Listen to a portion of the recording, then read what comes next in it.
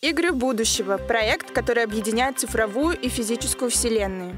Команда-победитель получает в качестве, так скажем, памятного э, знака об участии в играх вот такого рода статуэтки, которые обозначают знак фиджитал.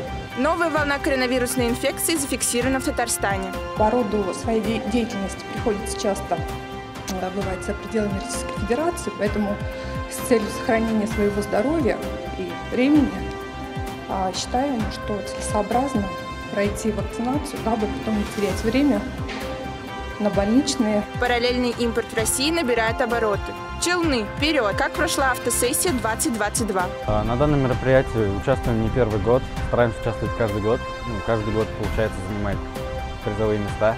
А, на соревнования готовимся. Сложности есть,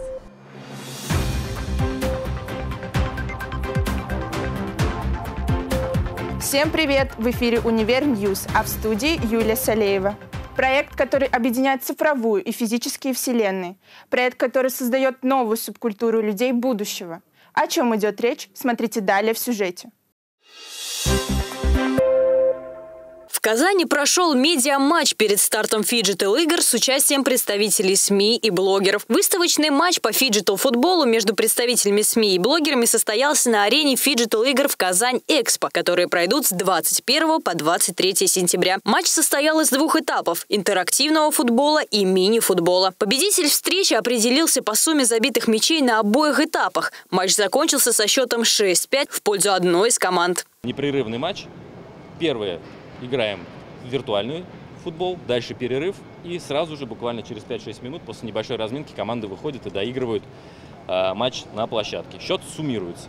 То есть футбол, с чего мы начинаем, это два тайма по 3 минуты в киберфутбол, потом э, перерыв и два тайма по 10 минут чистого времени. Соответственно говоря, счет, счет суммируется, победитель выходит в следующий этап. Всего 4 команды, поэтому по олимпийской системе играют полуфиналы, и потом на следующий день а, матч за третье место и финал. В самих соревнованиях примет участие около 20 команд по четырем дисциплинам. Фиджитал футбол, фиджитал баскетбол, Beat Saber – это VR-игра, в которой участнику нужно разбивать геометрические фигуры под музыкальный ритм и набирать очки, и гонка дронов. Для каждого вида спорта предусмотрен непрерывный матч с виртуальной и реальной составляющей. Команды будут играть по олимпийской системе. Участниками игр станут и представители других стран. В футболе будет представлена команда из Бразилии, в баскетболе из Беларуси, Беларуси, в дрон-рейсинге из Болгарии и из Турции. Команда-победитель получает в качестве, так скажем, памятного э, знака об участии в играх вот такого рода статуэтки, которые обозначают знак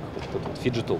Все церемонии, награждения и наградная атрибутика, она для игр будущего и для фиджитал игр будет также креативиться, разрабатываться для того, чтобы это не было повторение со стандартными классическими видами спорта. Еще один тестовый турнир пройдет в ноябре, где будут представлены другие дисциплины. Они не будут повторяться с, с теми дисциплинами, которые проходят сейчас в сентябре. То есть это остальные дисциплины, которые а, запланированы в рамках проекта «Игр будущего» в 2024 году.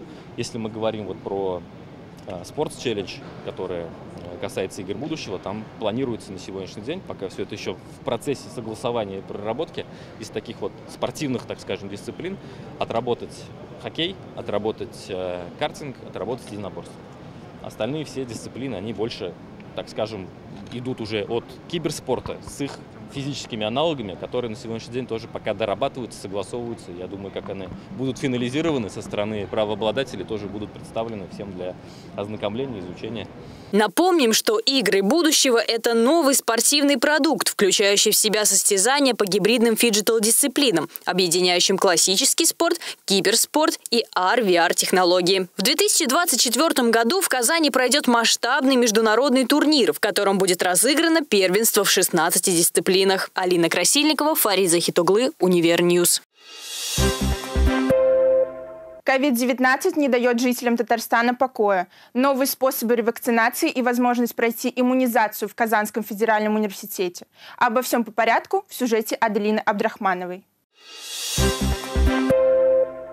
Новая волна коронавирусной инфекции продолжается. За сутки в Татарстане было выявлено около тысячи новых заболеваний. Госпитализация потребовалась 57 жителям республики. С начала пандемии в Татарстане зафиксировано около 200 тысяч случаев коронавирусной инфекции. КФУ принимает активное участие в вакцинации. Профессорско-преподавательский состав, а также студенты добровольно проходят вакцинацию, заботясь о своем здоровье. По роду своей деятельности приходится часто э, бывать за пределами Российской Федерации, поэтому с целью сохранения своего здоровья и времени а, считаем, что целесообразно пройти вакцинацию, дабы потом не терять время на больничные. Теперь у желающих ревакцинироваться есть выбор метода. Вакцина может быть введена интерназально и традиционным способом введения инъекционной иглы. Назальная вакцина вводится в организм через носовую полость. Такой вариант индуцирует иммунитет через слизистую оболочку носа, которая контактирует с передающимися через воздух инфекциями в естественных условиях. В Татарстан поступила назальная вакцина от COVID-19. Э,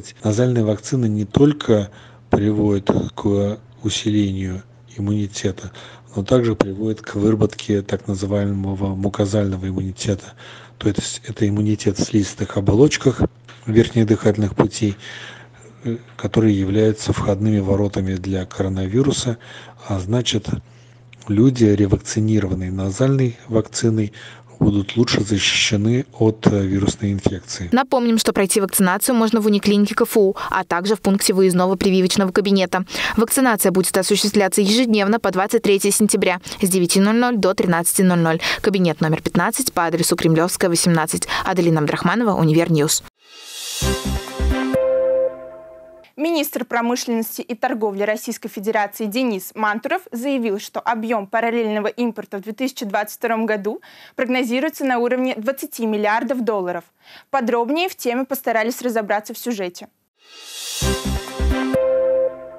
Процедура параллельного импорта предполагает ввоз в страну товаров без согласия производителя или правообладателя. Продукция поступает покупателям не через дистрибьютора, а с помощью альтернативных способов. Президент Российской Федерации в конце июня подписал указ, который легализовал порядок ввоза товаров в Россию через параллельный импорт. Безусловно, э, в условиях, когда э, многие компании-производители э, импортируемого Россией оборудования, потребительских товаров – отказались работать э, с российскими клиентами, э, параллельный импорт э, стал выходом из ситуации. По словам эксперта Казанского федерального университета, параллельный импорт выгоден для нашей страны, так как если бы он не был разрешен, то ситуация и на потребительском рынке, и в сфере промышленной электроники, автоматики, оборудования была бы намного хуже. Но возникает другой вопрос. Есть ли у этого другая сторона медали?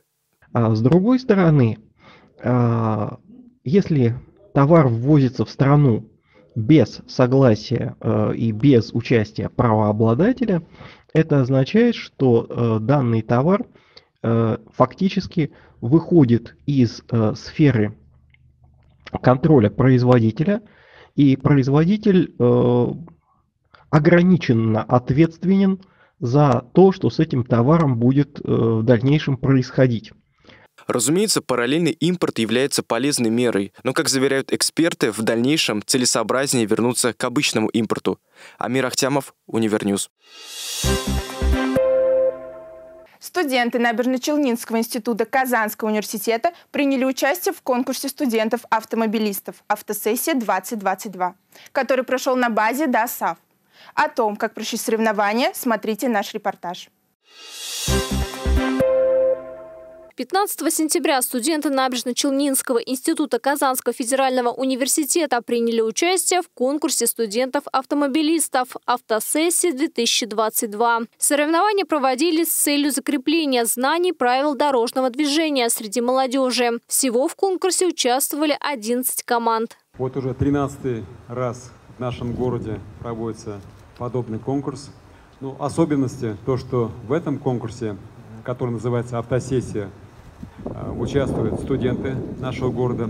Это высшее учебное э, заведение, среднеспециальное учебное заведение.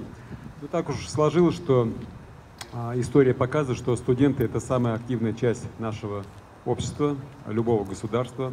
Конкурс состоял из двух частей – знания правил дорожного движения, где студенты демонстрировали знания теоретической части в течение 10 минут, и фигурное вождение автомобиля, где задача участников было показать свои умения на практике, а именно пройти препятствия в виде змейки, параллельной парковки, гаража и так далее. Ребята показали свои знания ПДД и вождения на площадке и заняли четвертое место.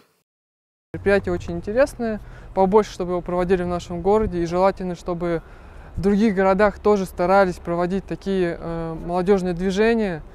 Это показывает уровень знания ПДД, уровень знания вождения людей, и чтобы относительно все старались ездить аккуратно и не нарушать те же самые правила дорожного движения. А, на данном мероприятии участвуем не первый год, стараемся участвовать каждый год. Ну, каждый год получается занимать призовые места, э, на соревнования готовимся.